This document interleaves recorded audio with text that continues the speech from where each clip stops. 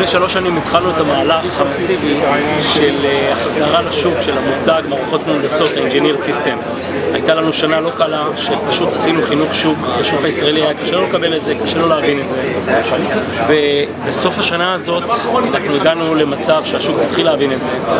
בשנה השנייה התחילו לחדור מכונות לשוק, הם עשו ביצועים, עמדו בציפיות הרבה הרבה מעבר למה שחשבנו שזה יהיה בהתחלה. ואנחנו בסוף השנה השלישית, אני יכול להגיד שיש כבר למעלה מ-40 מכונות כאלה בשוק, אצל עשרות לקוחות, ואת ה... מה שהבטחנו שהדבר הזה יעשה ל database, אנחנו התחלנו עם המכונה של ה Exadata, שבעצם מטפלת ובנויה לטפל בכל הנושא של ה database הארגוני. ואנחנו עכשיו השנה על הבסיס של ההבטחה שקוימה, אנחנו התחלנו לדחוף חזק מאוד את המכונה שמטפלת בנושא של ה-BI הארגוני, קוראים לה Exalytics.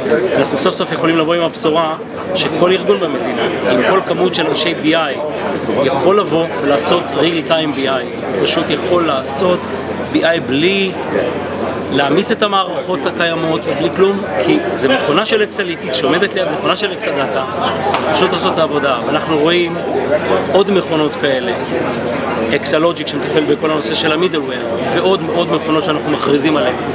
הצורה שהיום אנחנו רואים שה data center יהיה בנוי בעתיד, הלא רחוק, זה אוסף של מכונות שכל אחת בנויה לעשות בדיוק את מה שהיא נועדה לו, היא עושה את זה בצורה הכי טובה, שום קונפיגורציה לא יכולה להתחרות בזה, וככה אנחנו רואים שהדבר הזה יהיה בנוי.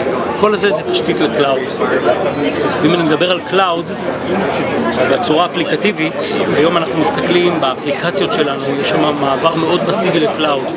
יש לנו פתרונות של HR ל cloud, talent management ל cloud, כל הנושא של הטיפול בשיווק, טיפול בניהול קמפיינים, ניהול leads, אה, מכירות, יש לנו את כל הפתרונות האלה דרך מערכת של Eloqua, דרך CRM, יש לנו ממש הזזה חזקה מאוד לנושא של ה cloud, כל הנושאים האלה יכוסו מאוד מאוד רציני בשבוע אורקל שיהיה ב-17 ל-21 לנובמבר שכמובן אה, גולת הכותרת שלו תהיה החדירה של ה-12C, דאטה ב-12C שהוא 12 Cloud כתשתית ארגונית.